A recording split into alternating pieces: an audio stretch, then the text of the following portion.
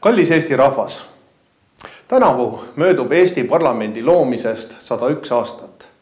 tuhande üheksasaja üheksateistkümnendal aastal rajatud rahvaesindus Asutav Kogu tähistab meie rahva kujunemisloos demokraatia sündi. see näitab meie veendumust demokraatlikusse korda ja usku demokraatiast kantud väärtustesse. oleme täna sajand hiljem väga keerulises olukorras. me oleme taas kord justkui sõjas kuid meie vaenlaseks on seekord tundmatu viirus, mis on haaranud suure osa maailmast. haiguse tagajärjel on meie seast lahkunud toredaid, töiseid ja häid inimesi. keerulise ajalooga Eestile on taas kord saabunud rasked ajad. antud olukord toob paralleele sajanditaguse perioodiga. ka siis olid inimesed hirmul. sõda peeti meie vabaduse eest nii nagu Vabadussõja rinnetel, nii ka täna võitlevad eesliinil vaprad Eesti inimesed. Nad panevad ohtu oma tervise, et kaitsta meie rahvast. jah, vaenlane on teine, aga kangelased sünnivad samamoodi. sada aastat tagasi Eesti Vabariigi loomisel keset sõda näidati mitmetes küsimustes erakondade ülest koosmeelt.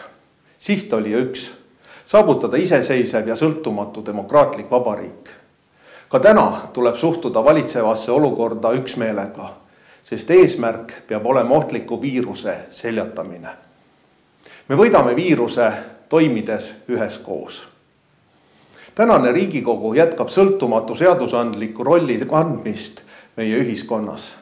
kinnitan, et ei ole vähimatki põhjust muretseda põhiseadusliku kriisi võimalikkuse pärast. Eesti on ja jääb demokraatlikuks õigusriigiks. nii nagu Asutav Kogu vajab Riigikogu hetkel kogu Eesti ühiskonna toetust. riigikogu panus praeguses situatsioonis on äärmiselt vajalik.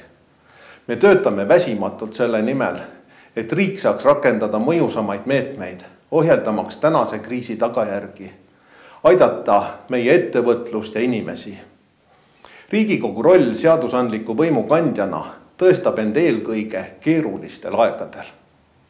meie vabaduse ja demokraatia iha leek ei kustu rasketel aegadel. me avaldame tänu ja tunnustust elude eest võitleva eesliini kangelastele. me kinnitame, et keegi meist ei peatu enne, kui ohtlik viirus on seljatatud. olge hoitud ja püsige terved